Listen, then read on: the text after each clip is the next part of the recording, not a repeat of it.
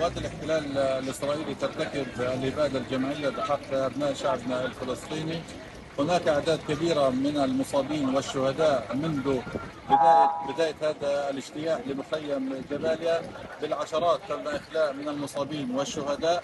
ونؤكد هنا وجود عدد أيضا من المصابين. لا نستطيع الوصول إلى هؤلاء المصابين والشهداء بسبب الاستهداف المتكرر لطواقمنا طواقم ومركبات الإسعاف من قبل المسيرات الإسرائيلية.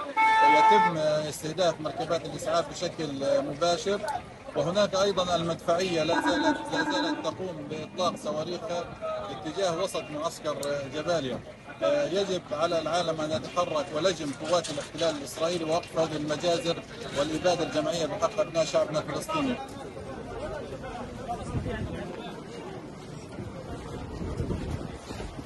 قبل لحظات من الآن تم استهداف منزل على رؤوس ساكنيه في منطقة بيت لاهية وتم إخلاء أكثر من سبع أطفال وما يقارب خمس نساء من هذا المنزل. ولكن بفضل الله عز وجل إصاباتهم ما بين متوسطة وخطيرة تم إخلاءهم إلى مجمع كمال عدوان الطبي ولا يزال قوات الاحتلال متواجدة في منطقة مسجد الصالحين ومحيط مسجد الصالحين وخلف المدارس ترتكب المجازر وتخلي الناس قصرا من مناطق الذي نزحت إليه أصلا.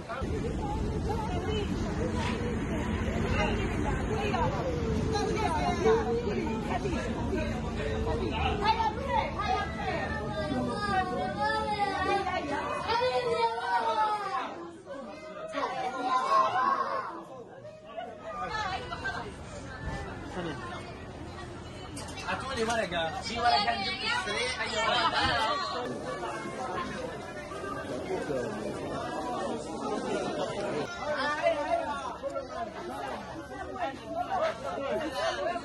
ورقة